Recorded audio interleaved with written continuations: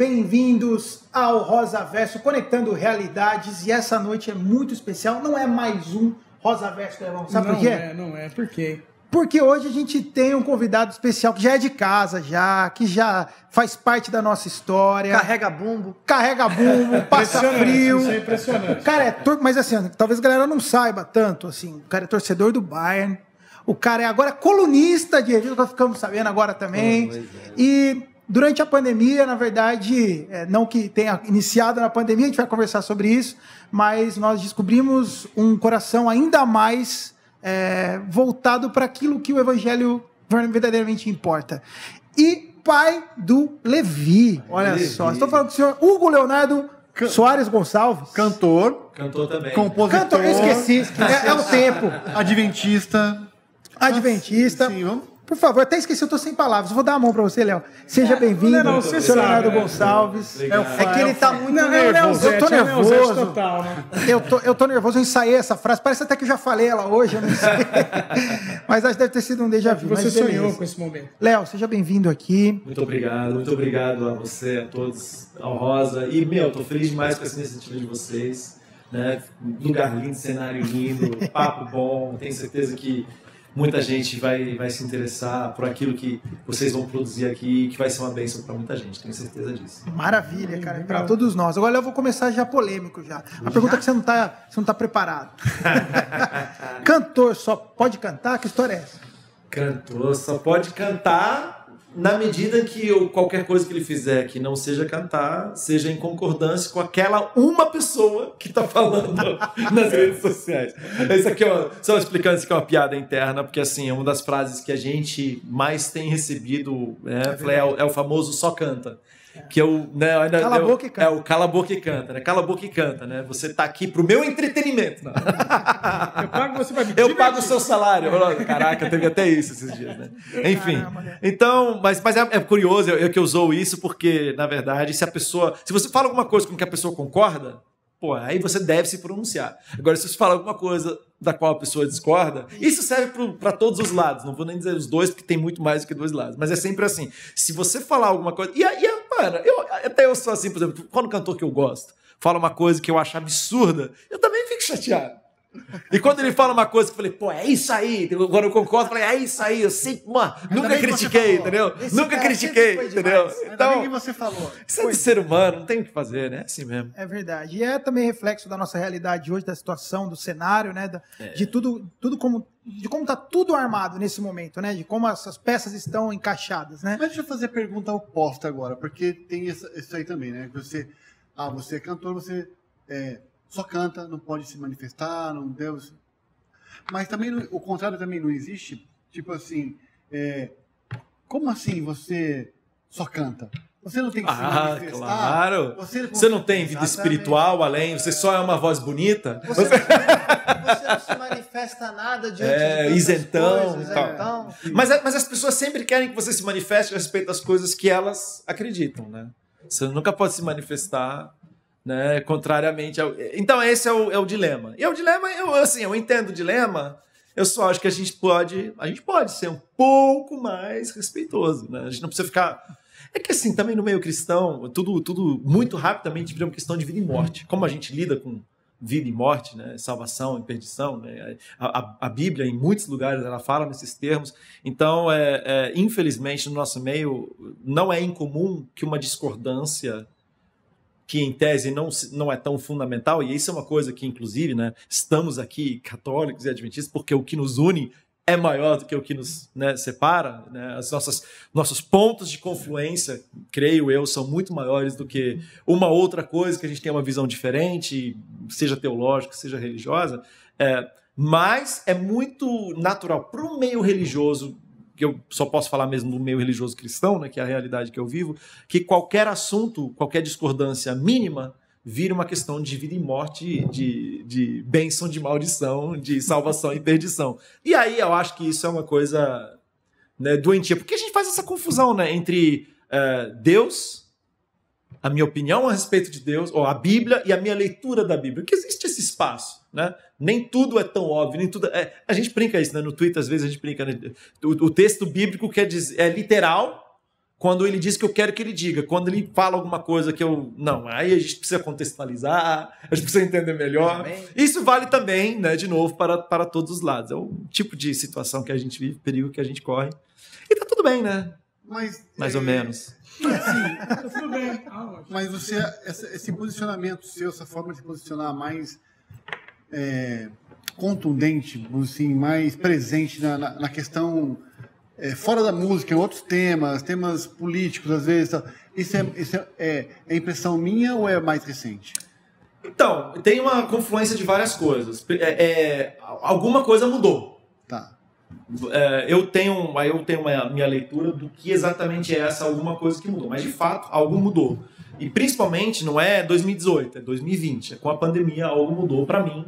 Né? Eu sou uma pessoa muito a favor do diálogo, construí toda a minha vida e todo o meu trabalho a- partindo desse pressuposto de buscar o diálogo com o diferente é, e, e não num- desafio para o outro, mas um desafio para comigo.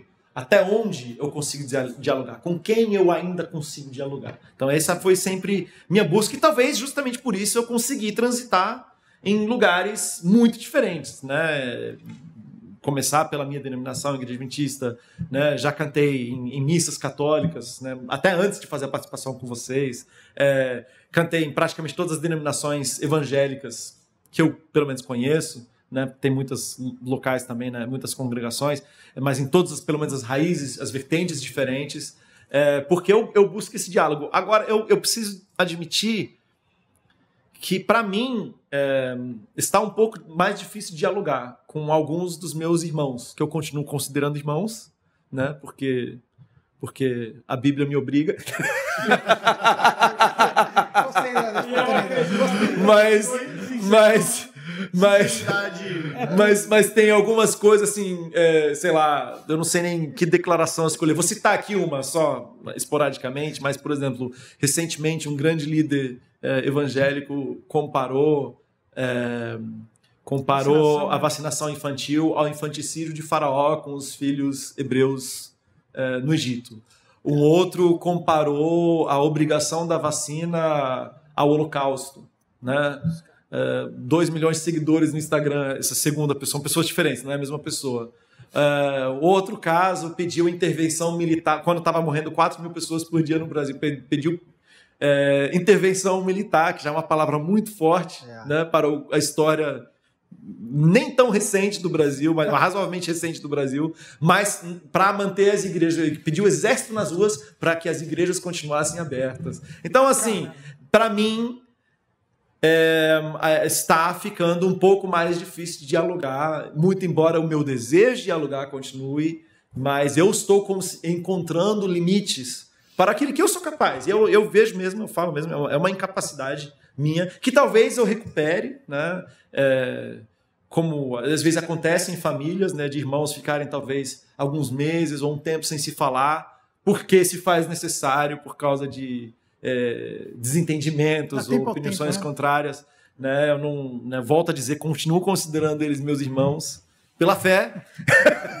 Brincadeira. Mas é, tá, essa é uma das. Uma outra coisa, você me perguntou mais ou menos o que, que mudou. Deixa eu tentar explorar um pouquinho mais isso aí e tentar ficar mais no ne- nessa resposta.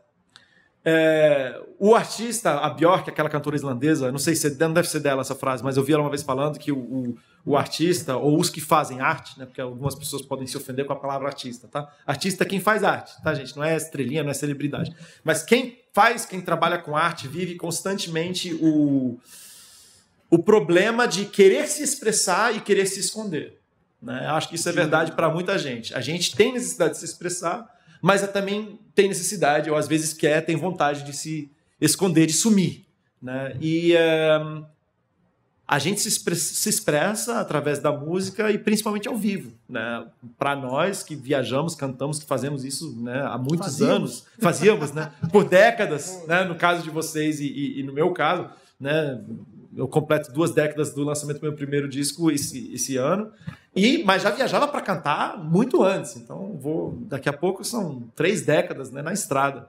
E faz parte né, da nossa identidade a gente se expressar.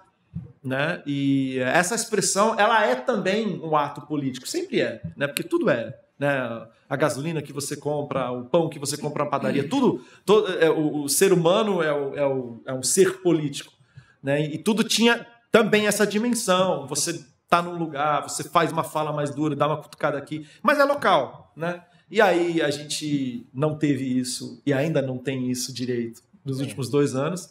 E sim, eu escolhi o Twitter em particular. De vez em quando eu levo para o Instagram, de vez em quando eu levo para o Facebook, mas principalmente o Twitter escolhi como lugar para me expressar mais. Só que isso junta com várias outras coisas, porque é, a minha relevância como cantor, o meu alcance, né, que inclusive já está diminuindo, mas é, que teve o seu auge em 2016, 2017, assim, é, tem a curva das redes sociais, né, também do crescimento do Facebook e tal, mas assim, 80% das pessoas que me seguem nas redes sociais hoje passaram a me seguir depois do lançamento do DVD, 2014. Não é a galera que me acompanha há duas décadas, é a galera que pegou o hype do DVD, logo em seguida a música Acredito, que foi trilha sonora do filme e tal, que eu entrei num lugar, eh, passei a ocupar um lugar e, e- e até cumprir uma função, se eu posso dizer assim, dentro do meio da música evangélica, que eu não achava que eu podia ocupar, que eu não achava que eu fosse exercer, mas que acabou acontecendo, que é estar no que a gente chama de mainstream. né? Quando eu entrei na Sony, só para dar números, eh, eu, eu meu primeiro disco em português na Sony, O Princípio e Fim, vendeu 40, 50 mil cópias. Nessa mesma época, nesse mesmo ano, a cantora Damares, eh, ela vendeu 700 mil cópias. Então, assim, eu nunca fui desses, dessa galera aí, entendeu? Mas por um curto período de tempo, que já está, já acabou, está se acabando, eu fui para um lugar que eu é, não imaginei que podia estar e passei a ter um público, porque tem isso também, né? Às vezes, antes eu estava vivendo uma vida, pelo menos no meio evangélico, quem me conhecia é porque gostava de mim. Eu era uma coisa meio alternativa, ainda um pouco underground, um pouquinho e tal. E hoje eu sou conhecido por muita gente que não gosta de mim. Né? Que é um- existe um momento muito confortável quando você está construindo um trabalho que tem uma dimensão pública, que exatamente a quantida- quantidade certa de pessoas te conhece, que é quem gosta de você. Aí quando você fura essa bolha, daqui a pouco você está conhecido por gente que também não gosta de você ou discorda de você. E, né, como E tem terceiro. a famosa proporção, né? Ah, 33 proporção. me amam, 33 me odeiam e 33 não se importa. Exatamente. Não, é. Só que aí quando você vive no Brasil, por exemplo, sei lá, que só 1% do Brasil te conhece, e esse por cento, 90% gostam de você. É. Os outros nem sabem que você existe, os 99%, entendeu? Então, mas aí na medida que você vai crescendo, você vai se tornando mais relevante. E aí tem uma última coisa que também não podemos deixar de mencionar, é que muita coisa no Brasil mudou. De cinco anos para cá, de seis anos para cá, no cenário político e, e em certas coisas, tipo, vou jogar a frase aqui, né? É, que é quase como se fosse 10 mandamentos no meio evangélico hoje, né? Impossível ser cristão e ser de esquerda. Primeiro que ninguém nem parou para discutir que esquerda é essa, né? O que, que a gente está chamando de esquerda aqui, né? É o, é o, ah, não, é comunista. Mas qual- ainda tem que falar qual comunismo? É o, Stalin, é o stalinista? É o, né? Enfim, ne- nem isso a gente define. Não, esquerda, qualquer coisa de esquerda é impossível ser cristão. Cara, é, muita gente que hoje está falando isso apoiou, apoiou os governos de esquerda de 2002 até 2014. O rompimento aconteceu 2014, 2015, 2016. Mas até então, é, grandes figuras evangélicas estavam almoçando com a presidenta ou o presidente Lula. Então, isso é uma coisa que mudou. Aí, claro, vai ter gente que vai falar que isso mudou porque a esquerda mudou, e aí tem gente que vai falar. Mas fato é, algo mudou nesse cenário. Então, juntar essas três coisas, a gente tem o que a gente chama de tempestade perfeita. Né? Mas eu tenho, eu tenho esse cara, eu- e- esse assunto eu quero entrar, mas assim, entrar com, com vontade nesse assunto. Mas antes eu quero, acho que é a hora da, da leveza. Eu tenho uma pergunta muito fácil para você, cara. Vamos. Assim, ó, Fácil. eu vou te apresentar algumas situações, você vai me dizer o que foi a melhor delas e a pior nos últimos tempos. Ó, Beleza. A primeira delas foi nascimento do seu filho, Devi. Até deixei fácil já. Você vai perguntar. Calma. É, nem, nem faça Não, quer- ele- Não, calma, calma. Melhor a pior. Você está induzindo. Gravar um videoclipe com uma banda, gravar um videoclipe com uma banda de rock católica e quase, numa hipotermia, uma situação É que miserável de hipotermia, é, virar ciclista na pandemia Ainda tem isso. ou virar TikToker no, na indicação do Grammy Latino lá em Las Vegas. Você tem a melhor e a pior para escolher aí, cara. Tá, a pior TikToker. a vergonha. Por exemplo, assim, eu não posso dizer que foi vergonha alheia, porque é comigo. Ai, gente, pra quem não sabe, eu fui no stand de TikTok lá em Las Vegas, né, que a gravadora me levou. E aí eles produzem conteúdo pra você. E aí, pra mim, assim, falei, mano, eu vou entrar na dança, tô aqui em Vegas, tô na, na, na chuva, é pra se molhar, vou produzir o material do jeito que o diretor mandar, do jeito que quiser, depois eu não posto. Pensei isso comigo. Depois eu não posto. Só que aí tem, tem um desafio com o diálogo comigo mesmo. Aí depois, quando a gravadora fala, ah, tem que postar. Falei, mano, também a vaidade eu não postar. Porque assim, daí que eu vou passar ridículo? Por que, que eu não posso passar ridículo? Quem sou eu? Quem eu penso que eu sou? que eu não posso passar um ridículo uma vez na vida. Quem que eu acho que eu sou? Então, enfim, foi um exercício também de não se levar a sério. O melhor, sem sombra de dúvidas, é o nascimento do Levi, né? Isso é- que isso é assim. transformador. né? Quantos meses que ele tá? Seis meses. Seis meses. E o, o- e o lance, assim, é claro que a pandemia é uma desgraça, é uma coisa horrível. É claro que é, com a- todas as mortes, toda a situação econômica consequente disso, é, a nossa indústria a gente está vendo acabar, né? A gente não sabe como- quando vai voltar, se vai voltar, como vai voltar, um monte de insegurança, mas assim, é, eu tô em casa e não tenho viajado e eu tô todo dia, todo dia com meu filho e eu tô aproveitando o quanto eu puder. Então, assim, literalmente, no momento que eu acordo até a hora dele dormir, eu tô com ele. Eu tô com ele, tipo, Ser pai sempre foi um desejo seu? sempre foi. Sempre foi. Eu não sabia nem o que era sexo, eu já queria ser pai. Tinha vontade mesmo. hein? É, eu nem sabia como funcionava o negócio, mas, pô. Eu amo ser pai, mas eu pensei no sexo primeiro, cara. Então, é que eu quis, é que eu quis ser pai antes de, de, de despertar pra esse lado aí. Pô, cara, eu mandei uma cartinha pra cegonha. Não é assim?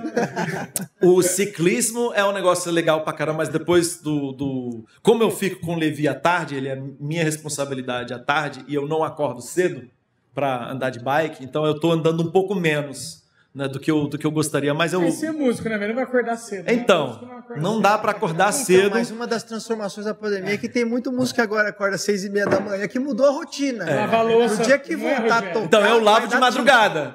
Eu lavo antes de dormir, duas da manhã, três da manhã. Coloca um podcast, ó. Fica a dica, inclusive, coloca um podcast no ouvido vou pra, pra lavar a Se louça. mandar você ir lavar a louça, pega e tá na fase gente. do não dormir ainda com o bebê, mas na hora que começar a fase de escolinha, levar acordar cedo para É, então, aí, aí, aí tudo bem. Mas tô aproveitando dormir é até. é. Mas assim, tem noite que às vezes você acorda do nada, um pesadelo, você acorda e fala, não! E você lembra do frio ali que passou com a gente? uma, uma lembrança. Cara, Não o frio, foi um frio. negócio momentâneo. Acho que quem mais sofreu com o frio foi o, foi o Eduardo. Dá pra ver no clipe, inclusive, que ele tá tocando. Não, não. Todo mundo sabe dessa história? Quem, quem foi? Quem foi de você? Alguém chegou pra mim, acho que foi você. Foi o Bruno eu, chegou eu, mim de madrugada e falou assim: mano, o Dudu ele não quer ir. Ele não quer gravar. falou, Ele falou, eu falei, gente, eu não vou.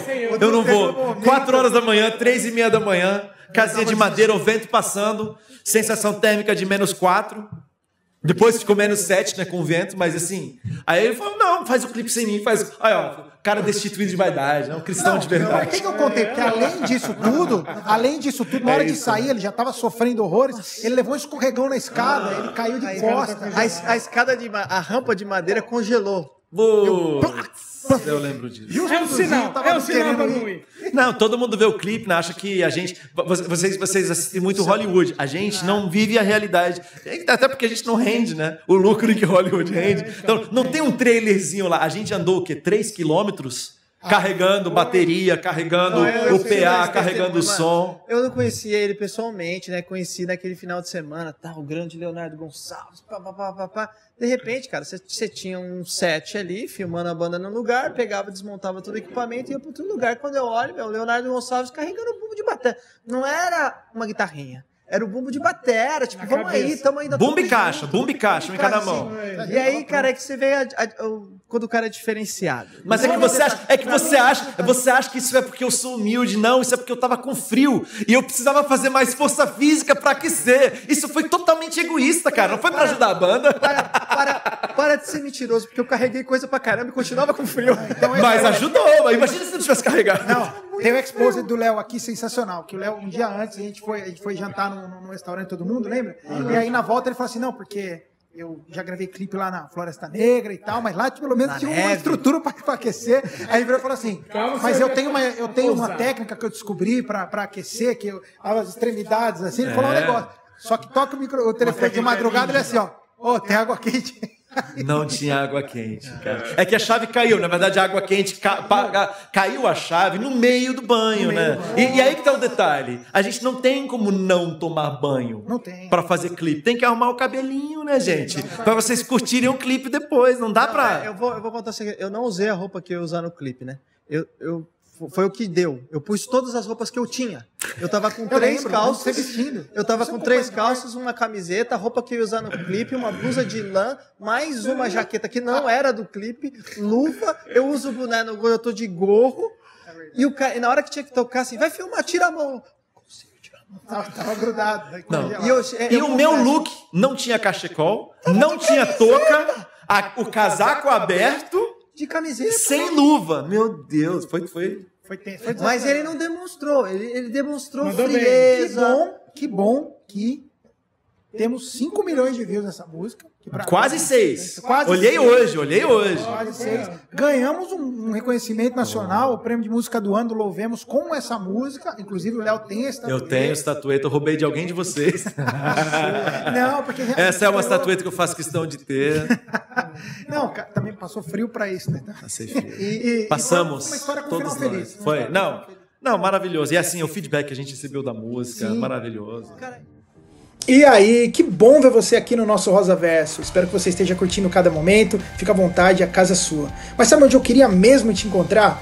É no show de estreia da turnê Baile das Máscaras do Rosa de Saron, que vai rolar dia 8 de abril, sexta-feira, em Ribeirão Preto, no Teatro Pedro II. Tá imperdível e os ingressos você pode adquirir a partir desse link que tá aqui na descrição do vídeo. Não fica de fora, eu quero te dar um abraço, quero cantar junto com você. Curte esse podcast, mas também aparece no show que vai ser maravilhoso. Deus te abençoe e a gente se vê dia 8 de abril em Ribeirão Preto.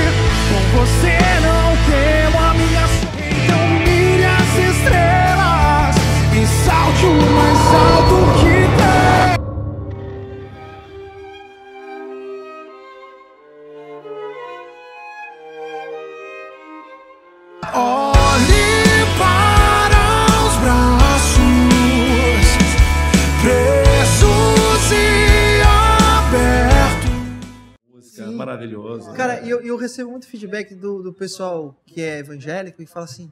Cara, vocês gravaram com o Leonardo Gonçalves. cara. Com o Leonardo Gonçalves. Como é. é- O pessoal fica falando, mas ele é muito querido. Não, é muito. Glória É Deus. muito querido, cara. Muito É, vamos, querido. vamos ver, né? Agora não mais tanto, agora não mais tanto.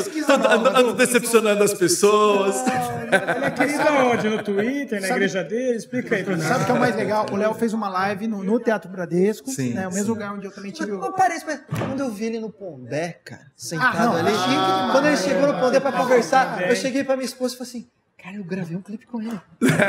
A gente tá chique demais. E assim, é, quando ele fez a live no Bradesco, que por sinal foi o mesmo lugar que ele fez o DVD, princípio, estava lá, inclusive, foi incrível.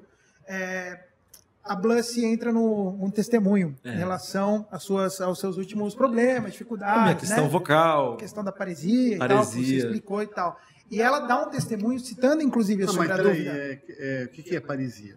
Paresia quando o nervo que liga né, o- as funções cerebrais ao músculo, porque o músculo ele responde a estímulo, certo? E o nervo, uma paresia na perna é uma coisa tranquila, porque é uma, é muita, o músculo é muito grande, é muita fibra muscular e muita conexão nerval. A prega vocal é um músculo desse tamanhozinho, né?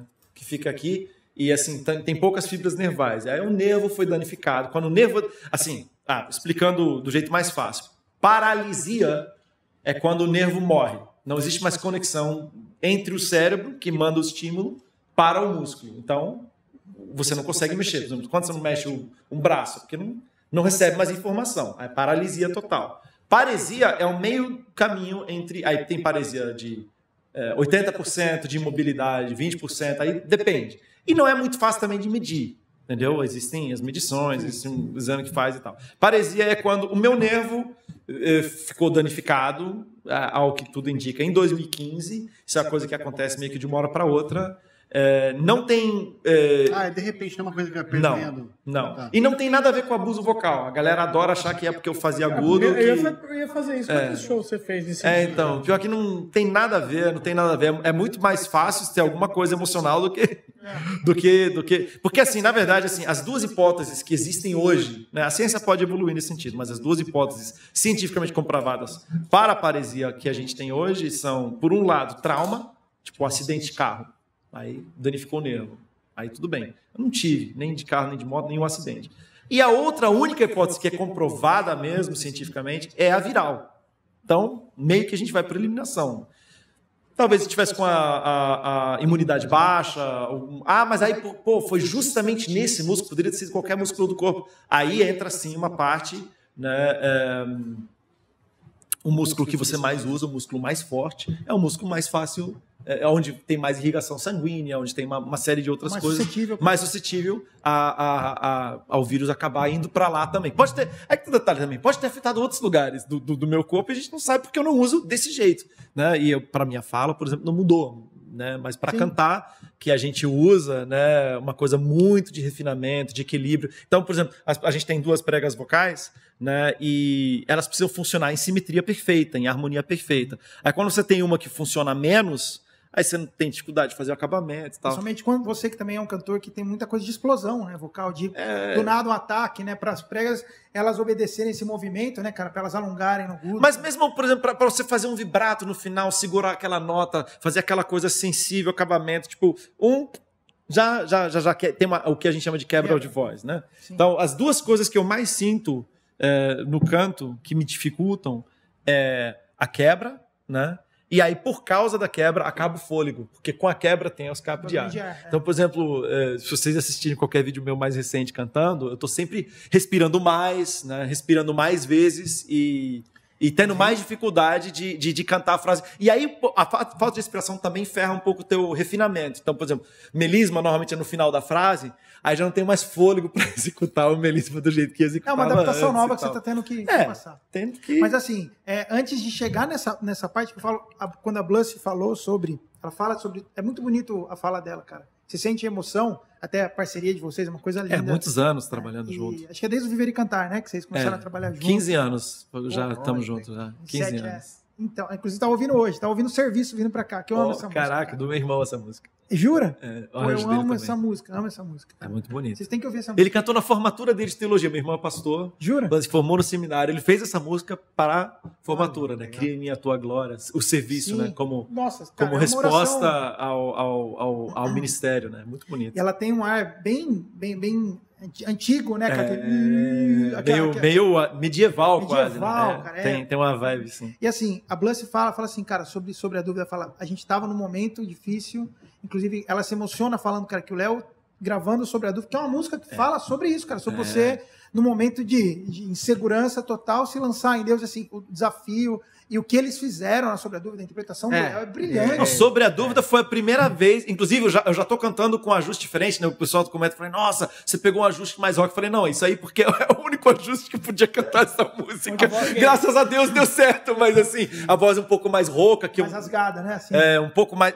Por quê? Porque o lance do ruído ah, de cantar assim, a quebra aparece menos, fica mais fácil de controlar o- o- os músculos e, e realmente. E aí não é que tem que uma chegar. pessoa que não se impressiona Não, é absurdo. quando tem, tem um final lá que vocês fazem uns melismas juntos. Não tem pessoa que me fala assim, cara, que maravilhoso, como aquele cara canta muito, que não sei o que. A música é pá, pá." muito boa também, e, né? e você destruiu, e, e agora ouvindo como é a situação, mais, mais, pô, mais eu fico lisonjeado ainda essa- assim. Só reforçando isso que, que você falou, que é muito interessante mesmo, que rolou essa coisa assim, olha a capacidade do Léo do Léo em se adaptar ao estilo, que ele imprimiu uma outra pegada na música, que na verdade nem era tão proposital no sentido artístico, assim, era uma... Era o caminho era Mas então, mas eu ó, se tem uma grande, né, tem muitas lições que eu aprendi e vou continuar aprendendo com isso. Mas acho que a principal que eu aprendi é assim. é, e essa é diferença do, do, do- de nós que fazemos arte e, por exemplo, um atleta. Porque uma das comparações que o médico, inclusive, usa, né? Como se você fosse um, um, um atleta olímpico e aí você, tipo, sei lá, que corre os 100 metros rasos em um 8 segundos e meio, tipo, com, e, e aí você tem uma lesão e não consegue mais correr daquele jeito. Só que a gente está tratando. Isso é. Ok, muscularmente é uma comparação eh, plausível. Só que assim, eh, quando se trata de arte, o objetivo não é cantar a nota Não é mais a aguda, né? fazer a quantidade X de melisma. Não é. A, a técnica é um meio para você chegar a um outro lugar, que é o quê? Tocar o coração das pessoas. E para isso, a gente precisa, em primeiro lugar, não é de técnica vocal, é de Deus. Porque quem toca o coração não somos nem nós. É Deus que toca. né? Então, assim, essa coisa de você entender que Deus. Que eu sempre falei, eu sempre preguei isso, né? Que Deus usa a gente apesar da gente, não, não por causa da gente. Apenas é, entrou numa nova dimensão, agora apesar, inclusive vocalmente. E, e isso é um negócio muito louco. Aí entrou um. Eu gosto de desafio, né? Até esse negócio de bike também é, é lance do desafio. Curto desafio demais. Então agora o meu desafio é como que eu, mesmo com a minha limitação, como que eu, mesmo com a dificuldade, como que eu vou conseguir transmitir o sentimento? Por exemplo, ah, eu- antes eu podia escolher, ah, eu quero cantar com timbre tal, ah, eu quero cantar com timbre tal. A gente realmente tinha muitas Tinha possibilidades. Com a doutora. Bluss, principalmente. Eu realmente, a gente teve um, um período aí de cinco anos, pelo menos, que a gente. Hoje até me arrependo, tipo, tinha que ter, devia ter gravado mais. Devia ter Talvez gravado o seu mais. ápice que você sempre fala. É, vocal, É som- sombra de dúvida. Aquelas gravações da- das sessions de 2016, não é? Que você, que você fala. Então, eu, eu já tinha, eu já tinha paresia ali. Eu já tinha paresia ali. Na verdade, o primeiro semestre de 2015. Eu lancei o DVD em 2014. Meu, seis meses ali de alegria, alegria. Assim, tipo, tudo que eu queria fazer, eu conseguia fazer. Quem viu, viu. Quem não viu, passou. Não tem mais. Não Só que acredito, você tinha já também. Eu acho que. Só que assim, aí tem uma coisa, na minha massa muscular era maior. E no estúdio a gente consegue resolver. Né? O problema mesmo das quebras, porque a quebra nunca é no mesmo lugar. Então no estúdio a gente consegue resolver. Mas o, o, para mim o grande desafio é: eu não posso mais escolher como cantar. Eu preciso cantar do jeito que der. Agora, mesmo com essa limitação, o desafio e o prazer de é transmitir senti um sentimento. Um, um- Antes eu tinha mais flexibilidade, eu podia ah, fazer qualquer coisa. Agora eu estou focado muito mais em, em- em- nessa coisa de transmitir o sentimento, transmitir a emoção. é, de um jeito que eu nunca. Inclusive, né, estou há muitos anos estudando isso mesmo, tipo, de como fazer para transmitir ainda mais a questão do sentimento. Por quê? Porque eu não posso mais me dedicar ao virtuosismo. Agora eu tenho que me É, essa é dedicar a isso, que é o que me sobrou. E isso que é o mais importante. Que louco, né? Eu queria te fazer essa pergunta, porque assim, é, eu, como sou um cara ruim, então eu não sofro disso, mas vocês... é, é, quando você é um músico reconhecidamente, vamos dizer assim, como se for analogia lá ao esporte, de alta performance, as pessoas te viam como um virtuose e elas esperam todo esse virtuosismo a todo tempo, todo tempo, todo tempo, todo tempo. É, é, e, e mesmo que esse virtuosismo não seja o principal, e não é, mas como artista elas estavam vendo. Não, Como- como- Existe o perigo. Sempre. Eu, eu- é, uma das crises foi essa. Eu vou ser interessante como artista. Não, mas você sofreu Sem pressão isso- sem ser você, de fora. É porque você falava. Então, eu sofri muita pressão porque eu fiquei. So- como eu não sabia o que ia dar, meu, eu- eu- a gente descobriu durante o meu sabático. Então eu não estava cantando. Então a gente. "Hum, Vamos recuperar. Ah. Vamos recuperar. Vamos ficar todo dia. A gente trabalhava três horas por dia, uma hora e meia em duas sessões diferentes, todo dia. Vamos recuperar. Aí não recuperava. Falei, não, mas vamos trabalhar mais um pouquinho. Ah, vamos. Tipo, não vamos a público com isso ainda, porque a gente não sabe. Eu não quero criar uma comoção e, tipo, depois a gente sabe, nem precisava ter falado, entendeu? Então, é, o, o peso maior pra mim foi carregar isso sem falar. A gente diagnosticou, ó, aconteceu em 2015, a gente diagnosticou em 2017. Eu só vim a público com isso em 2020. Por quê? Aí entra o medo que eu acho que vocês também conhecem um pouco, que é o seguinte: cara, tem gente que depende do meu trabalho. A gente não sabe o impacto que isso vai ter na minha agenda. A gente não sabe, pô, tem gente que, pô, a minha banda, a minha equipe técnica, eles vivem disso também. Eu não posso ser responsável. Ah, eu não quero carregar isso sozinho, eu quero falar para ficar livre disso. Eu tenho responsabilidade com outras pessoas, entendeu? Aí quando aconteceu 2020, a, a- a pandemia, ninguém estava vivendo disso mesmo, eu falei, pô, eu não preciso mais carregar isso. Né? E também tinha uma coisa, numa transmissão ao vivo, com microfone, né, numa live, fica muito mais, Mais evidente. as coisas. Isso é uma coisa até engraçada. Eu não estava vendo isso, mas as pessoas que acompanharam a live falaram, pô, todo mundo comentando. Na- na- durante a live. Falei, pô, a voz tá estranha, tá, acontecendo uma coisa, tal, tal, tal, tal. Aí quando eu dei o testemunho, quando eu falei do negócio, mudou. Falei, nossa, mas que bonito ele tá tentando, tá se esforçando, entendeu? Então eu vivi três anos com esse peso. Falei, pô, tá, alguma coisa tá errada, Porque eu falo, tá eu falo porque você até viu uma coisa uma vez do, do, do, do Sereio aí, meu querido Brunão, falando num outro podcast, assim. O fato de você ser o virtuose coloca sobre você também a pressão de sempre querer ser o virtuose. esperam isso, né? As pessoas Tem, marca- tem gente que parou de carreira por causa disso. A Lauren Hill nunca mais gravou disco É. por causa disso. Bota pressão, né? Cria um mundo tão difícil que agora, se eu não fizer isso difícil, eu não sou mais ninguém. Mas, em compensação, eu digo, por exemplo, eu sou um cara leigo de voz, né? E quando eu vejo sobre a dúvida, por exemplo, que eu vi, eu. Talvez você não tenha feito ali tudo aquilo que você era capacitado de fazer. Mas mesmo assim, eu acho que para uma grande massa, caraca! Não, mas isso é o estúdio. No estúdio é a um gente di- consegue. Esse cara é um diferenciado. O estúdio a gente consegue. A gente consegue chegar num resultado satisfatório em estúdio. O problema maior realmente é ao vivo. Porque assim, não é, é- é como eu disse, a quebra, que é a principal coisa que chama a atenção, por exemplo, fôlego. No estúdio se faz emenda. No estúdio, pô, acabou o fôlego. Eu respiro de novo e faço só aquela frase, entendeu? Eu tenho eu, eu- eu tenho um diafragma, tipo, eu, não- eu não preciso porque assim, na sequência cantar ao vivo, tanto que a gente nunca cantou ao vivo, né? A gente É. cantou ao vivo. Nunca Não, cantou ao a vivo. gente ia fazer, a acabou gente não- ia fazer, acabou não, acabou não acontecendo, Ia entendeu? ser num evento que a gente ia fazer em João Pessoa, negócio de transmissão da. Globo, lembra? Aí trocaram os dias. Aí trocaram os evangélicos dias. Só no dia, os É. católicos no dia. que Nossa, a gente gente estava feliz demais de cantar junto. Ia, ia, ia, ia ser super legal. Mais importante para uma boa parte, não para todos, mas para uma boa parte do público, mais importante do que você acertar é você dar 100%. Então, Léo, Entendeu? mas aí o 100%. pô, Você dá, o meu 100% agora é menor do que era antigamente, mas eu continuo dando 100%. eu discordo. Você entendeu? Eu Não, discordo. Ele não, ele continua dando 100%. Não. O que, que você discorda? Eu discordo que o 100% dentro de um palco, aliás, em cima de um palco para baixo, não é acertar todas as notas, cara. Jamais Isso será. Eu vivi isso, eu vi isso várias vezes na minha vida.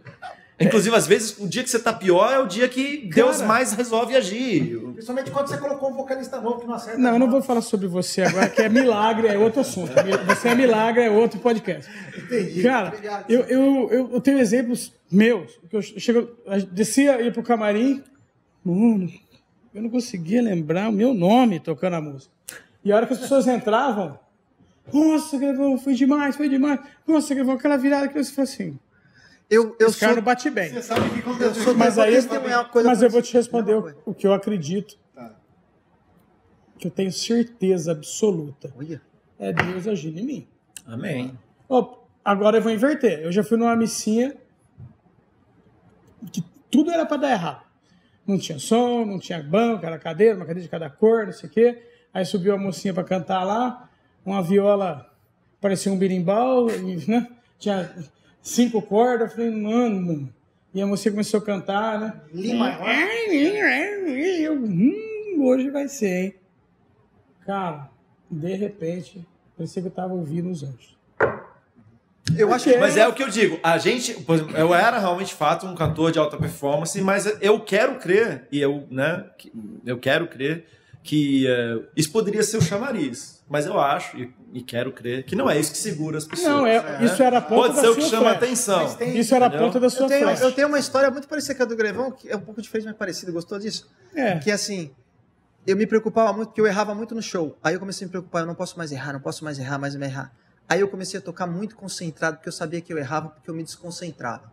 Só que quando eu comecei a ver o show, que eu falava assim, nossa, hoje eu toquei bem, não errei um, lembrei de tudo, não errei nada. Eu me olhava, eu falava assim, puta cara desinteressante.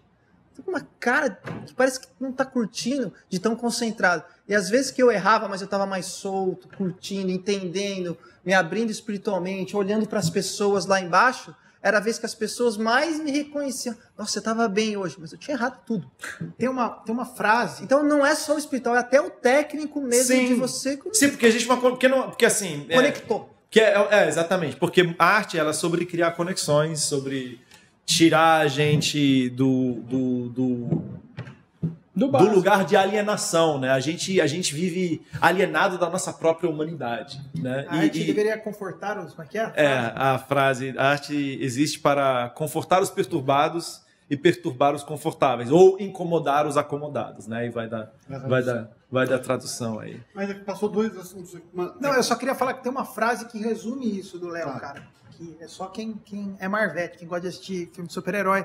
Em Thor Ragnarok, lá que o, o Thor perde o, o martelo, ele chega pra Odin e fala. Mas eu perdi meu martelo. eu não vou-" Ele, fala, ele vira pra ele e fala: Mas você por acaso é Thor, Deus do martelo? Ele fala: Seu Thor, Deus do trovão. Tá, mas eu perdi isso, perdi aquilo. Mas peraí, o que que te faz? Você era só isso? Você era só um cantor virtuoso? Ou você era um instrumento de Deus pelo qual ele fazia as coisas? E se ele fez isso com Moisés, que era gago, se ele fez. As- a vida termina aí, então? Exatamente. Né? Eu vou entrar nisso aí, mas só perguntar que, que para mim ficou um, um, um parênteses aqui que eu queria entender. Quando você fez o sabático, é, não foi em função disso. Não. Isso que é, porque é, muita gente pensa, eu, eu pensava inclusive que você decidiu um ano para sabático para resolver o seu problema de voz. Na verdade, isso aconteceu depois, então.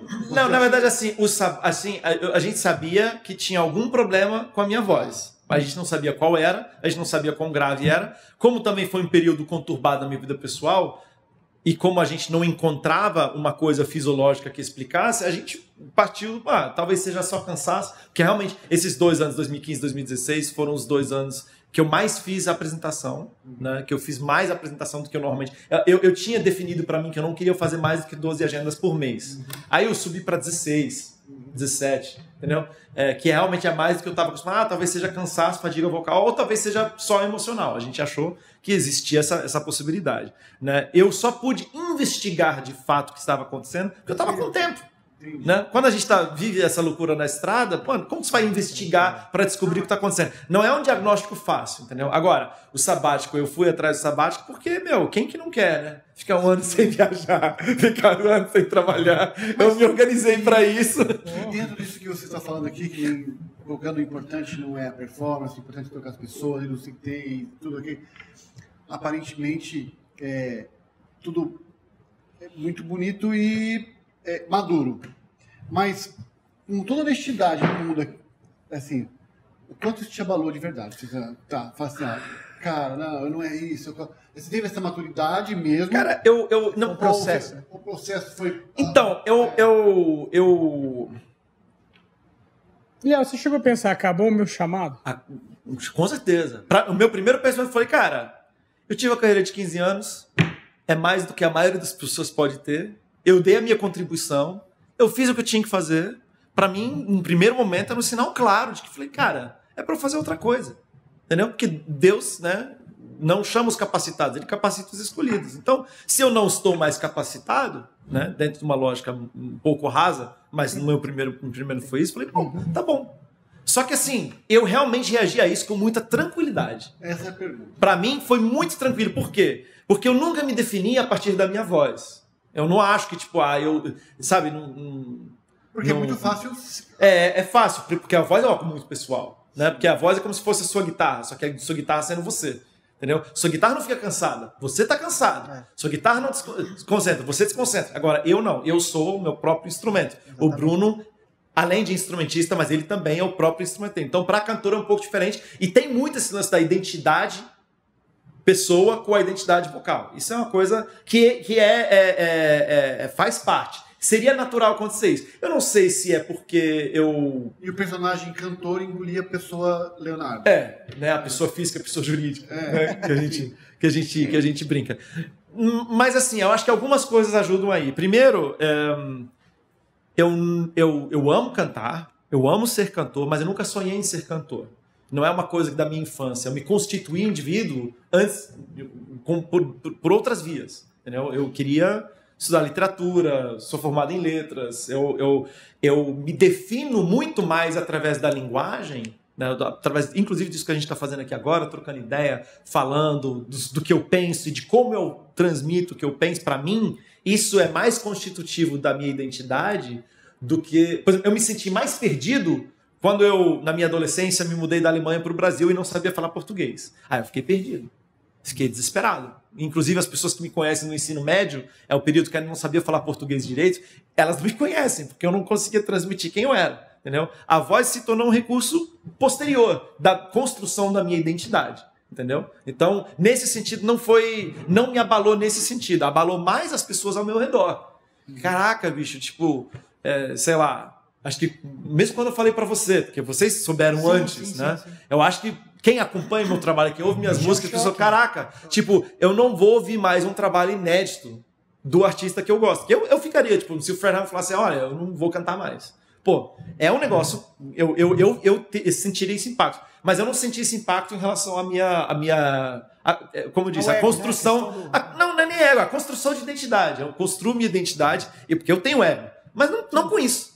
Né? E para mim também uma coisa que é muito, muito engraçada. Eu, em alguns sentidos, eu não mudei. Porque eu- é, é isso mesmo, tipo, eu, eu até acho bonito, ah, o que mais importa não é o. Eu, eu, eu concordo com isso que vocês falaram, sim e não, porque assim, importa sim que eu dê o meu máximo, que eu seja a melhor versão que eu sou capaz de ser. Vem uma limitação, ok, mas importa ainda, eu continuo mantendo a minha mesma, eh, vamos chamar isso de ética profissional, de dar o meu melhor. Eu vou continuar, ah, minha voz tá, não tá mais a mesma coisa, então não vou aquecer, ah, então não vou trabalhar, Pô, o pessoal tá assistindo, tá pagando ingresso para me ver, tô recebendo convite, que se dane, entendeu? Não, eu estou trabalhando três vezes mais do que eu trabalhava antes e eu já era um cantor que trabalhava muito. né? Então, é, é, eu me sinto. E isso é uma, uma, uma mistura, uma, uma- é, tem a ver com a minha relação com Deus e tem a, a ver com a minha relação com o público. Minha relação com Deus no sentido de. é, Deus quer que a gente seja a melhor versão da gente. O que isso significa, a gente precisa constantemente questionar e discutir e entender. Mas, é, é, por exemplo, sei lá, quando eu vou produzir um álbum, eu quero as melhores letras, com as melhores melodias, com os melhores arranjos, com o melhor estúdio, com o melhor microfone, com a melhor preparadora vocal. Aqui eu tenho alcance, aqui eu tenho possibilidade de, de pagar, inclusive, né? porque tem, Sim. tem limitações para Depois isso da pandemia. né? É, mas assim, é, e também, e, e assim, e agora pessoalmente, eu quero ser o melhor cantor, eu quero ser o melhor pai, eu quero ser o, o- o- melhor amigo, eu quero, eu quero, é, é, tenho, eu tenho esse, esse, esse drive, eu quero até ser o melhor ciclista agora. Então, É a nova, é a nova paixão. então tem uma, tem uma coisa, tem uma coisa realmente de, de, de, é, eu acho que isso me define. Essa minha postura me define mais do que a minha voz ou o melisma ou a nota que eu acerto, entendeu? Na verdade, é um Então, comprometimento. é, De não se contentar com pouco. Então, mas aí é mais que não se Isso é contentar com pouco, é dar o seu melhor em todos os sentidos. em todos os sentidos, Igual- inclusive na vida espiritual, Vamos fazer inclusive no um- estudo teológico, inclusive tudo, tudo que eu puder, entendeu? Não é- muito não é- intenso, né? Uma Então, pessoa não é- muito intensa. Não é porque eu fui tocado com, com um violãozinho desafinado que eu tenho que fazer um show desafinado. É, Jamais. exatamente. Eu, pô, eu tenho como ter um violão bom, Ó, afinado. e, e você não cai na ilusão de achar que foi o violão desafinado que tocou. Sim, exatamente. né? Não é o violão. Vamos agora desafinar Você os violões, porque Deus está ali, ó. armadilha, é. Deus está no violão desafinado. Olha, tá- calma. Ele está tão pouco no violão desafinado quanto ele está no- na nota do sublime ou no melisma bem feito. Ele não está em nenhum desses lugares, né? Mas tem, tem duas, dois pontos interessantes que eu queria tocar, que eu acho que a gente ainda tem, tem um pouco de tempo para falar de muita coisa.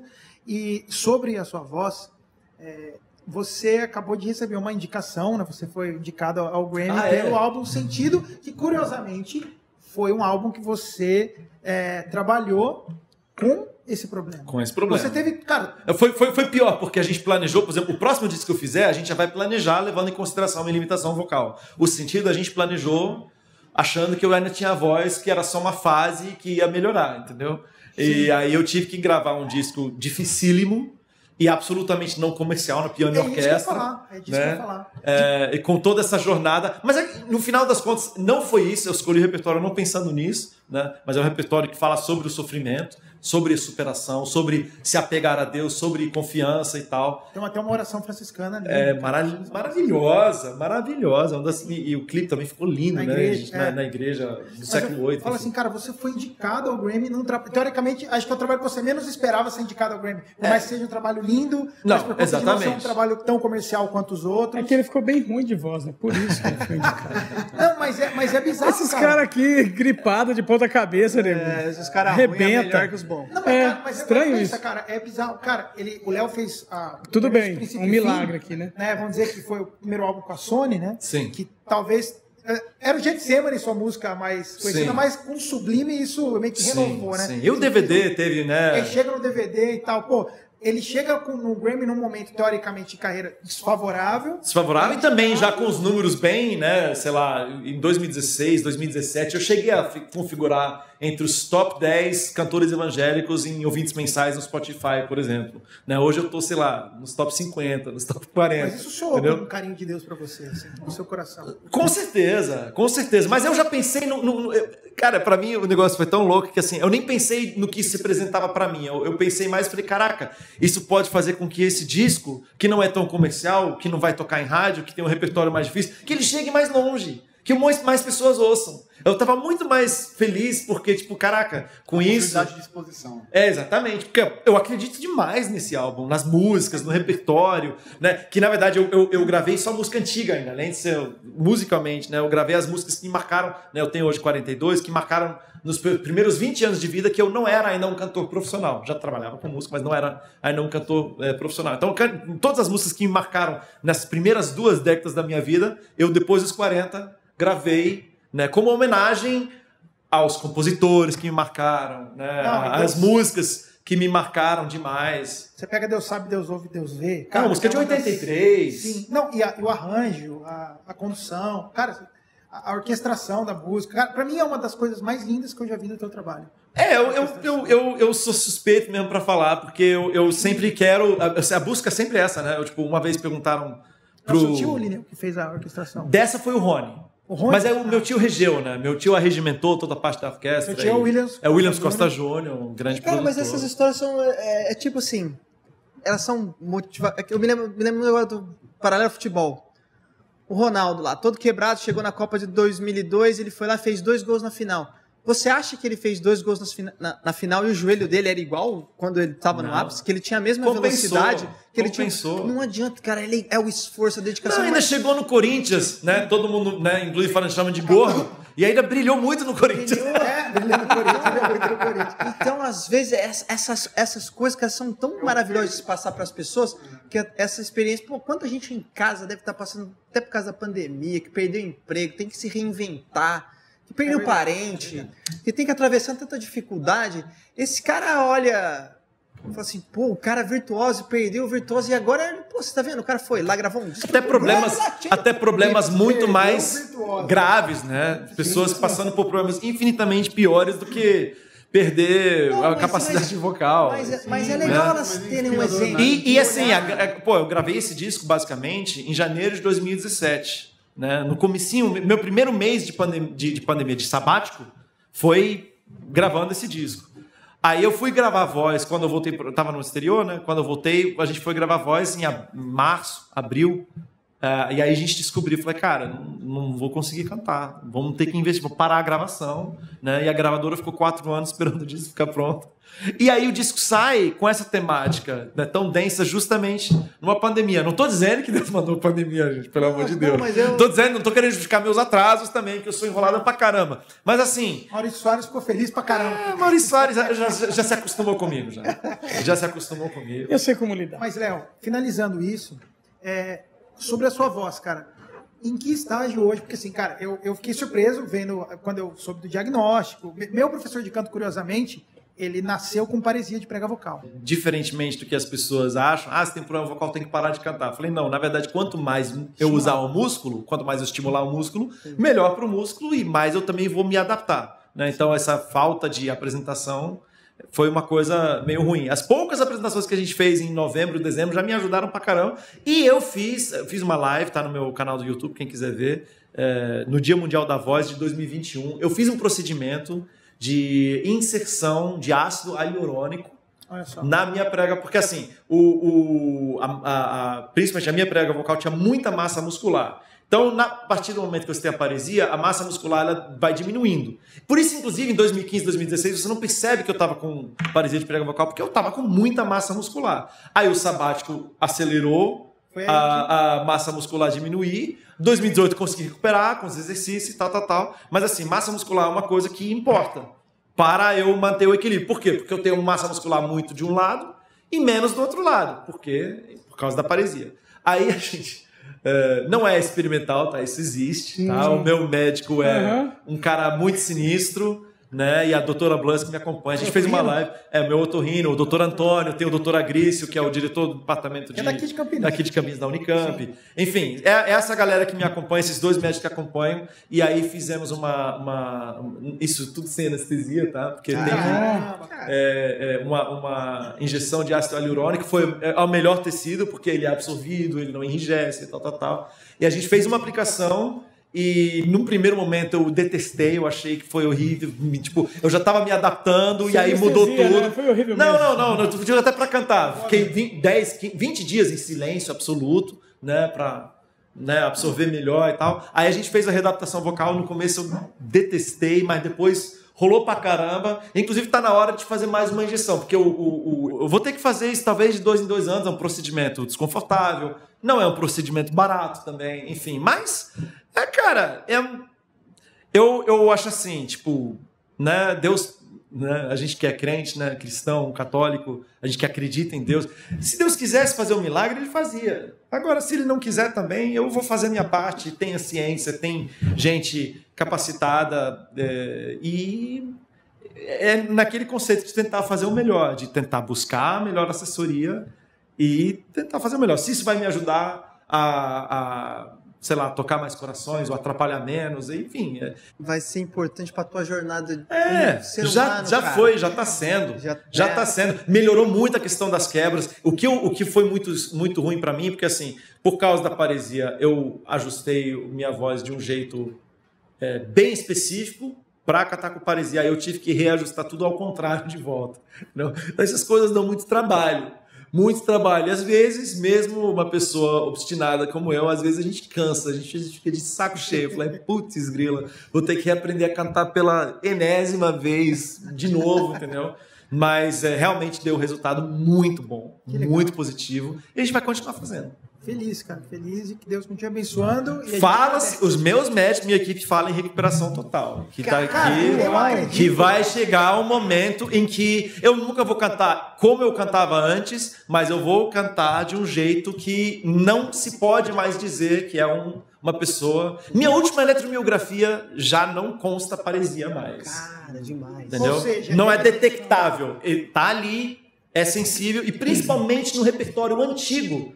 Eu ainda tenho quebras, por quê? Porque existe um negócio que a gente chama de memória muscular. As músicas que eu já cantei milhares e milhares de anos. Mas nas músicas novas, e por isso estou afim pra caramba também de gravar mais repertório, tentar ser um pouco menos enrolado para produzir coisa. Porque, por exemplo, quando eu tô canta cantarolando em casa ou no carro, tal, tal, tal, eu tenho muito pouca quebra. Eu tenho mais quebra cantando as minhas músicas né, que eu não posso também deixar de cantar, que são as músicas pelas por causa das quais as pessoas pagam ingresso para me assistir, né? Ou seja, você que está aí assistindo, Leonardo Gonçalves não vai mais ser o Pelé, só vai ser o Messi. Só. Tá tranquilo, tá, tá tranquilo. Não, beleza. O monstrinho Tá está de volta. Me-. Pelé é maior que Messi? Aquele... Era- Uh, polêmica! olha no final do o polêmica. podcast sem polêmica não Não, pode. precisa de um corte agora. Cara, eu não Leonardo Gonçalves fala que Messi é melhor que Pelé. É, a gente conversou sobre a tua carreira, sobre voz, sobre, sobre ideais. Você deu uma pincelada sobre ideais.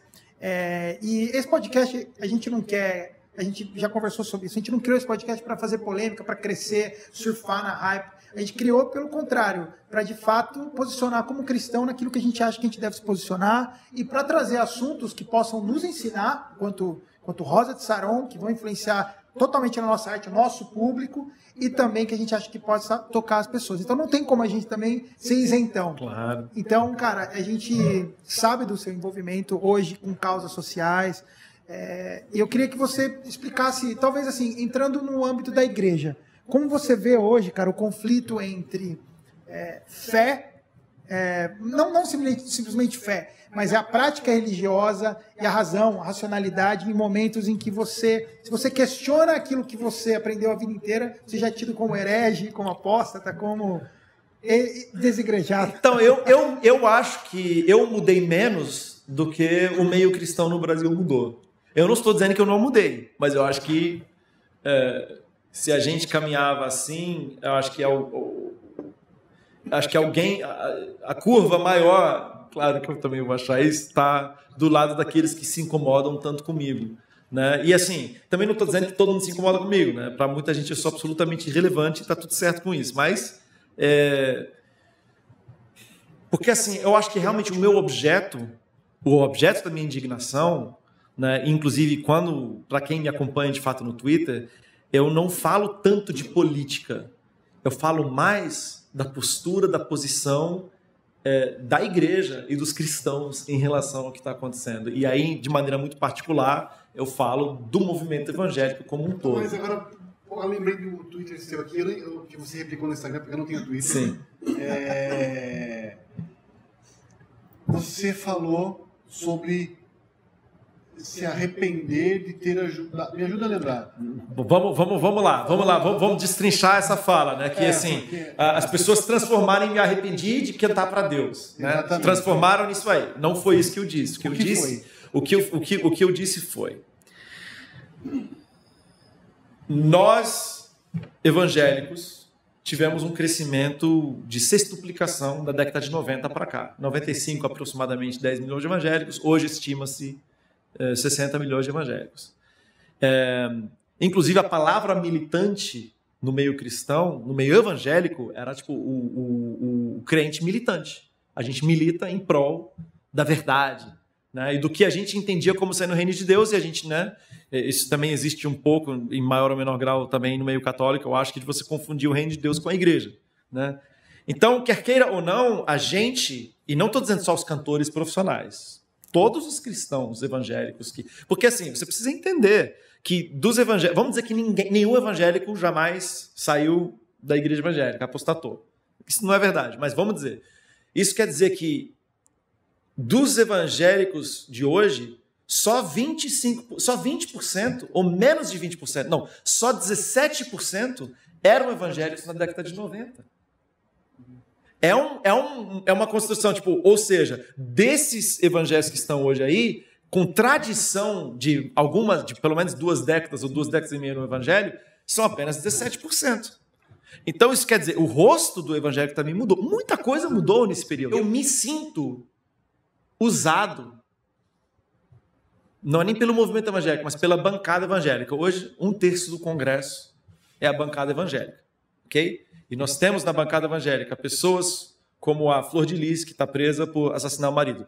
Pode ser que não tenha assassinado, mas, ao que tudo indica, a bancada evangélica se apropriou de uma coisa que nem é tão brasileira, muito mais americana, que é essa coisa da guerra cultural, que é da nação cristã, que não é um, con- um conceito propriamente bíblico, por assim dizer, né? essa coisa do, da nação cristã, One Nation Under God, é uma coisa dos Estados Unidos, que a gente meio que importou do evangelicalismo estadunidense.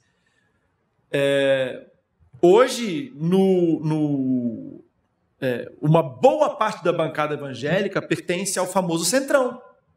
Centrão esse que é conhecido por negociatas, por é, corrupção ativa ou passiva, né? E eles são eleitos pelos votos dos evangélicos. Não existia bancada evangélica na década de 90. A bancada evangélica só se tornou possível pelo crescimento exponencial dos evangélicos e dessa mentalidade de que irmão vota em irmão, de crente votar em crente. Então, assim, nós não somos um terço dos brasileiros, mas somos um terço da bancada evangélica. E sem um terço de uma banca, de, de- de- do Congresso Nacional, um terço não da bancada evangélica, somos um terço do Congresso Nacional, você não consegue fazer nada. Por exemplo, é, o impeachment da Dilma, sem a bancada evangélica, não acontece. Qualquer coisa que o, o governo Bolsonaro queira fazer, sem a bancada evangélica, não acontece. A gente está.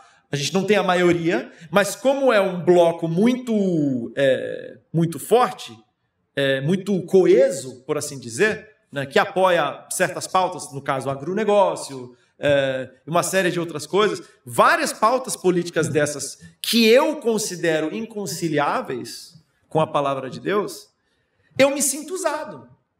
Não por Deus. Não me arrependo um, segundo de- de- de cantar música cristã, de cantar para Deus, e nunca disse isso. Mas, de fato, fez com que essa galera ocupasse o poder e apoiasse um governo é, que, com o qual eu tenho dificuldades absolutas de, de conciliar. Né? Você acha que os trabalhos como o seu ajudaram a viabilizar essas candidaturas? Não existe bom evangélico sem música evangélica. E vocês são católicos sabem disso. Não, e eu concordo Quantas pessoas- eu, como católico, fui em igreja evangélica para ouvir músicos. Não existe boom evangélico sem música evangélica. Muito antes do boom evangélico, muito antes da bancada evangélica, o motor disso, e eu não fui principal motor, é gente como Diante do Trono. Di- Diante do Trono teria muito mais razão de se sentir traído. Trazendo a Arca, Kleber Lucas, Aline Barros. eh, Aline Barros, essa galera, né, do, principalmente da primeira década dos anos 2000 até 2010, David Kinner, tal, tal. Essa galera construiu esse movimento, e esse movimento hoje é conhecido pela bancada evangélica. Pô, cara, não era isso que a gente queria, não. Não era isso que a gente queria, não. A gente se sente, assim, nem todos, talvez, porque alguns talvez concordem com tudo que está acontecendo. Eu, como não concordo, me sinto traído, me sinto usado, me sinto usurpado nos meus valores. Entendeu? Até porque politicamente eu não sou de direita e nunca fui. E nunca fingi ser, tá? E, e- e sempre foi tudo bem. Nunca, isso nunca foi um problema. Né? Até porque essa famosa frase, né, é impossível ser cristão e ser de esquerda, que hoje é usada como se tivesse um verso na Bíblia dizendo isso, como se Jesus tivesse dito isso na cruz.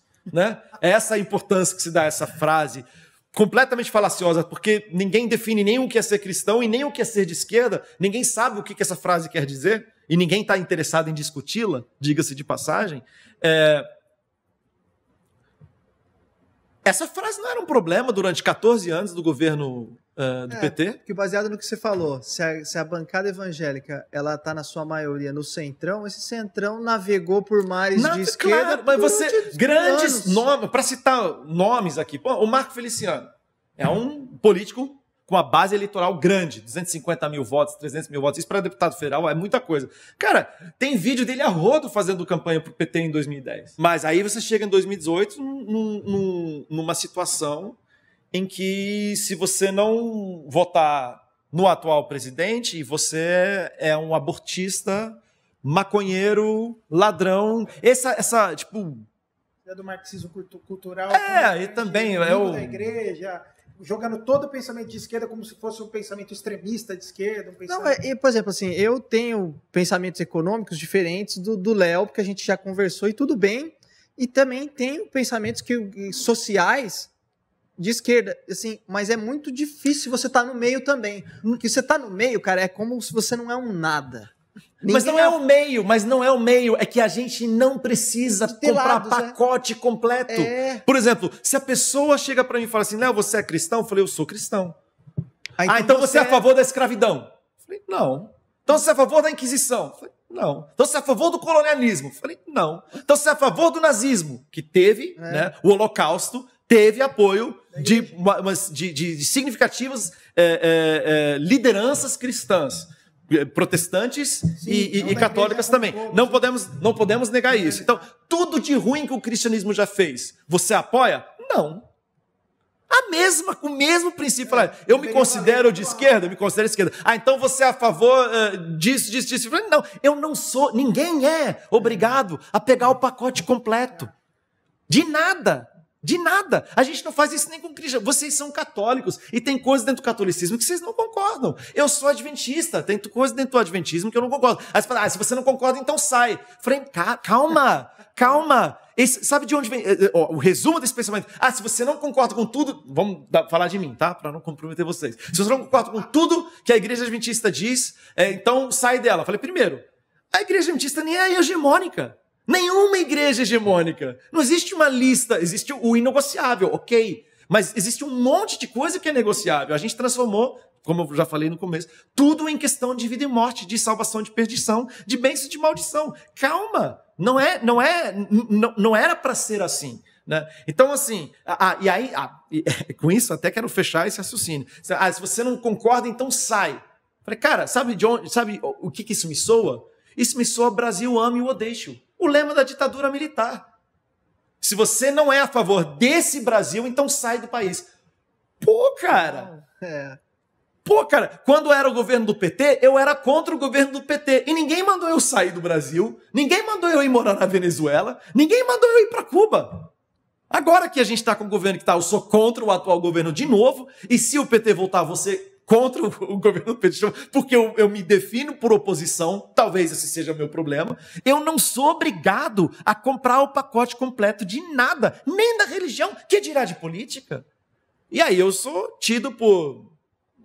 Assim, e assim, só em, ainda, tipo, se não existe cristão de esquerda, então Martin Luther King não era cristão. Exatamente. Então Dietrich Bonhoeffer não era cristão, né, lutando contra o nazismo. Ah, mas eles não são a esquerda de hoje. Eu falei, cara, a esquerda de. Você nem me perguntou que esquerda eu sou. É, eu... Você nem parou para me ouvir. Eu gostaria de fazer essa pergunta para você, que hum. você é um cara mais engajado politicamente do que eu. É, muito falar de esquerda e direita é muito nebuloso saber exatamente o que é esquerda. Será que a coisa não está muito mais no pessoal do que realmente o que é direita e esquerda? Será que a gente não criou o, o, o, o cara que saiu lá do, do interior, que, que era do sindicato e virou o nosso presidente, o Salvador, e o mito? Será que a gente. Puxa vida, porque eu falo assim, cara, o brasileiro, por exemplo, ele, ele, é fiel no futebol, cara. Futebol, beleza. Você torce pro Corinthians, vai torcer pro Corinthians a vida inteira, pro Palmeiras, sei lá. Mas mesmo assim, cara, o Corinthians tá mal, o técnico substituiu errado, a torcida grita burro, cara. A torcida invade o, o CT do Corinthians e fala: Ó, oh, meu, você vai dar o sangue aí, você vai mexer. Eu, pelo amor de Deus, aqui é o Corinthians, cara. A gente já viu isso, torcida do Flamengo. Não que a gente concorde com a violência, mas é a indignação. Parece que a gente, com a política, criamos mitos intocáveis. Sim. Mais do que até a ideologia de direita. Que já é, que já é ruim. Agora, pior do que isso, é fazer isso com religião. É. Aí eu vou, esse é um projeto. Por quê? Porque, porque é esse projeto, desculpa, infelizmente, é esse projeto que elege a bancada evangélica. E por isso que eu sou crítico. Inclusive, no, chega outubro, não vote em bancada evangélica. Não vote, não vote. Se o cara usa o, o, a máquina da igreja para se eleger, só por isso eu prefiro, por exemplo, se for para o cara dar vergonha, né, eu, eu, eu, se for para o cara dar vexame, que pelo menos não envergonhe o evangelho. Entendeu? Se eu votar em alguém e ele for corrupto, pô, prefiro que não seja evangélico. Porque, pô, vai levar o nome de Deus junto. Vai levar o entendeu? Nome, vai levar o meu. Tipo, todo, é, o cara que eu votei sempre vai ter, de alguma forma, minha contribuição ali. Não tem como fugir disso. Mas, enfim, eu, eu, eu tô forçando a barra, tô provocando aqui um pouquinho também né, no final. Mas o que o, o, o Cara, ninguém é. Ó, todo mundo pode escolher o que apoiar. Por exemplo, ah, eu, eu votei na Marina. Ah, a Marina é abortista. Primeiro, ela não é abortista. Ela queria o plebiscito para o povo escolher. Isso não é a mesma coisa. O plebiscito, com certeza, o povo escolheria. É... Provavelmente, provavelmente, provavelmente, entendeu? Ah, mas ela não foi firme, ela não testemunhou, ela não, ela ficou com medo. Como pode uma evangélica fazer entendeu? isso? É, então, assim, é, essa coisa do pacote. Por exemplo, eu posso votar na Marina discordando dela em um ponto, em outro ponto. Como todas as vezes que eu, principalmente em 2018, eu votei nela. Não, 2014. Eu não concordava com a, com a proposta dela de política econômica. Não concordava, não concordava. Mas, entre as opções, ainda era que eu. Né, é, é, eu não entendo. Eu não, é, realmente eu, eu, eu, eu não entendo. Porque porque mesmo as pessoas que votaram em Bolsonaro não compram um pacote completo. Não são obrigadas. E não deveriam, por mim, ser obrigadas. Tipo, se você votou em Bolsonaro, eu espero que você não concorde com ele fingir a pessoa com falta de ar morrendo. Exato. Né? Se você é cristão e concorda em fingir com a pessoa morrendo, eu não sei. Não sei. Você tem o direito de não concordar com tudo que ele fala, com tudo que ele faz. Eu também. Só isso. É, eu acho que todo mundo tem que ter o direito de ter a, a, sua opinião, exatamente, do pacote completo. Eu concordo com isso, mas não concordo com isso. É, eu concordo dele ter dado a ajuda na pandemia financeira para todo mundo, uma coisa que ninguém fez no mundo, tá, beleza, mas eu não posso concordar com a política de saúde que foi implementada. Sim. Entende? Então, assim, eu não posso ser atacado porque ah, de repente eu achei que ele fez um negócio legal e, pô, mas como que você concorda com esse cara? Não, tudo bem, aquilo lá acho que até que foi bom que ele fez, mas isso aqui foi muito ruim. Ah, mas espera aí, então, sabe, é essa coisa é, é, é alienada, cara, que eu acho que, que tá nos atrapalhando e eu acho até que a dificuldade de encontrar um meio termo é que também a gente está tentando achar no meio o cara excepcional, perfeito, que vai ter todas as qualidades que eu quero e aí que não vai achar mesmo. Não, e a gente, na verdade, está sempre escolhendo o menos pior. É. A gente está sempre escolhendo o menos pior e fingindo que o eu estou escolhendo o menos pior, mas o outro está escolhendo o pacote completo. Não, não sei. Agora, infelizmente, tem muita gente defendendo o pacote completo também. Tem isso. Sim. De todos os lados. Tem gente que defende o pacote completo.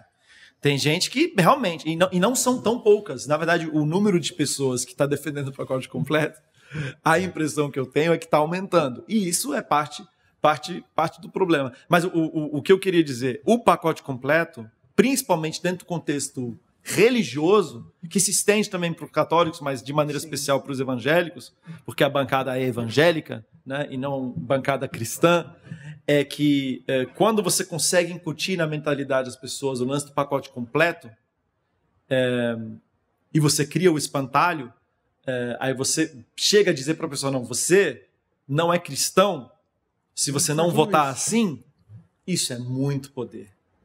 É isso é poder político, isso é poder real, isso é muito poder. E é esse poder que a gente tem que quebrar. Por quê? Porque esse poder é mentiroso. Esse poder é mentiroso. Aí você parte, não, fulano de tal tem mil defeitos, mas não tem aquele. Aquele defeito lá é mortal. Então você tem que votar nesse que tem mil defeitos, mas ele não tem aquele um defeito que o outro tem. Entendeu? É, é, aí você move uma máquina de milhões de pessoas. Milhões de pessoas. No Brasil, Vão, não, não são 60 milhões de pessoas evangélicas que votam assim. Mas se são, vamos dizer que são 20. É um Pô, o Bolsonaro, Bolsonaro ganhou por 57 milhões de votos. O Haddad teve 43 milhões de votos. 20 milhões de votos garante qualquer eleição a presidente nesse país. Porque são, são 212 milhões de habitantes, mas são aproximadamente 100 milhões de pessoas que votam. Caraca, se tu controlar 20 milhões de votos, 15 milhões de votos, você domina o país.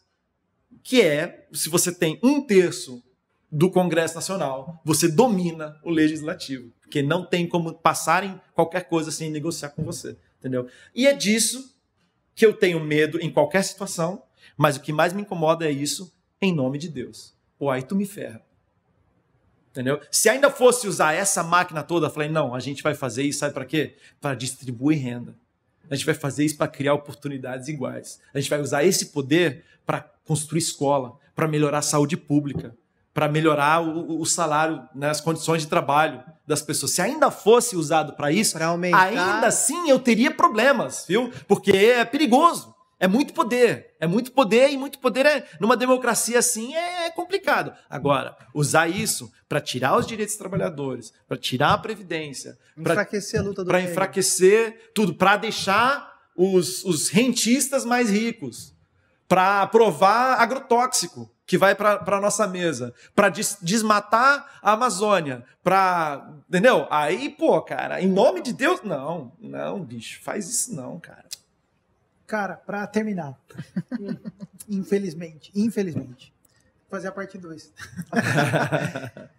Como não ser pessimista, cara, vendo, vendo todo esse cenário e assim, num governo que a gente percebe um momento já de muito esclarecimento, teoricamente, já pelo menos de muita divulgação de coisas que eram para ser, serem vistas como, como fatos, né? vacinação, coisas que a gente deveria tomar como, como verdade, por, por, ou pelo menos ter a credibilidade de um, de um lance científico em cima da parada. Ainda defendendo tratamentos que nunca funcionaram, é, defendendo coisas sem pé nem cabeça, as pessoas indo dessa forma cega, como você disse, dessa forma, tem que aceitar o pacote completo, senão eu tô fora, no desespero de ser apóstata, alguma coisa assim.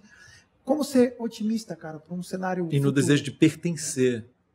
E você quer. É. é muito tentador. A gente quer pertencer ao grupo dos vencedores, né? E a galera evangélica está vencendo, né? Então é, é, é, tentador demais, né? Como, eu não vou nem dizer como não ser pessimista, porque eu acho impossível não ser pessimista. Agora, eu vou tentar responder como não perder a esperança. é o começo. Porque a realidade, ela nos impulsa. A realidade é, e.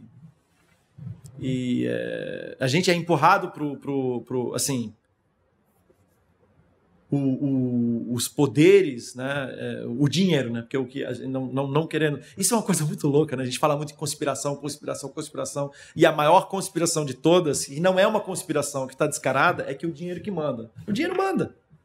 Isso não é. Se você falar isso, você não é conspiracionista, você está sendo, né, descrevendo a realidade. Agora, é, um grupo cada vez menor está controlando, não vou nem dizer que é dono, né? a gente falou isso em off, é, é controla cada vez maior parte da riqueza. Isso não é uma conspiração, isso é uma realidade. Entendeu? E eles controlam de um tal modo para que eles ganhem mais dinheiro, porque essa é a lógica né, do mundo em que a gente vive. É... Como não perder a esperança? Cara, o único jeito que eu encontro de não perder a esperança é, é no nível mais básico interpessoal que existe.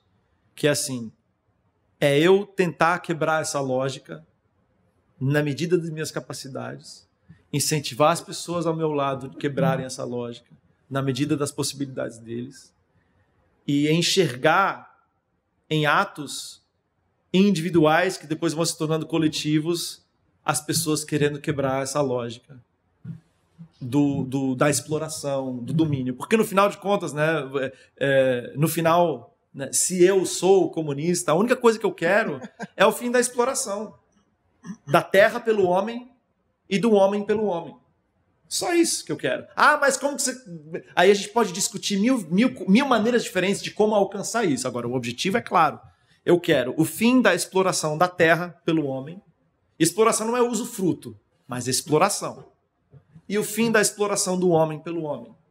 Que é, eu, para onde eu olho, eu vejo essas duas coisas: o homem explorando e destruindo a terra, e o homem explorando e destruindo o homem. Só isso, eu quero o fim disso. E, na verdade, essa é a descrição da Nova Jerusalém. Né? Então, eu tenho a esperança no futuro né, de que Deus vai fazer justiça. Né? É, eu tenho essa fé. Então, essa esperança é inabalável. Né? Quer dizer, inabalável não. Ela é inquestionável. Às vezes a gente se abala. Né? É...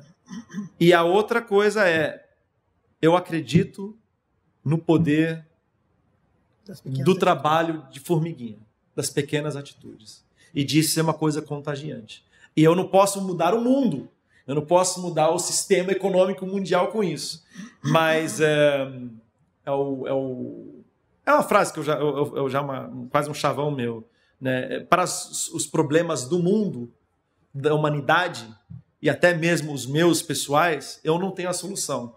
Mas eu posso ser alívio para alguém. Não é nem para mim. Eu posso ser alívio para alguém, que vai ser alívio para alguém, que vai ser alívio para alguém, e alguém vai ser alívio para mim. A gente pode aliviar. Resolver, realmente, é, é, eu acho que só Deus para resolver, dar um ponto final e, a solução total. Meu papel é, antecipando a solução que Deus vai dar, aliviar o que eu puder aliviar para o meu irmão, o que eu puder aliviar para o órfão, para a viúva, para o estrangeiro, para o pobre, para todos que são excluídos, é, é, o meu papel. Né? Cara, que falar, né? Léo, a gente quer agradecer a sua presença e mais do que isso, cara, sem demagogia agora, deixa eu deixar isso de lado. Muito obrigado por você ser quem você é. Muito obrigado por ao longo da minha vida inteira, desde 2004, já falei isso para você, indo para para escola com o primeiro iPod Shuffle que eu tinha ali, nem, nem dava para escolher a ordem das nem músicas. Nem dava para escolher as músicas, você não sabia o que ia tocar. Né? Não tinha display, não tinha nada, cara. A primeira vez que eu vi Getsemane, e até hoje, depois de te conhecer, de virar amigo, de, de dividir um trabalho, é, a gente às vezes se decepciona com as pessoas que a gente admira, né? E eu agradeço a Deus por quando te conheci, sem demagogia, ter visto num cara mais do que um espelho. Apesar de você ter os seus defeitos, ser a pessoa claro. que você é.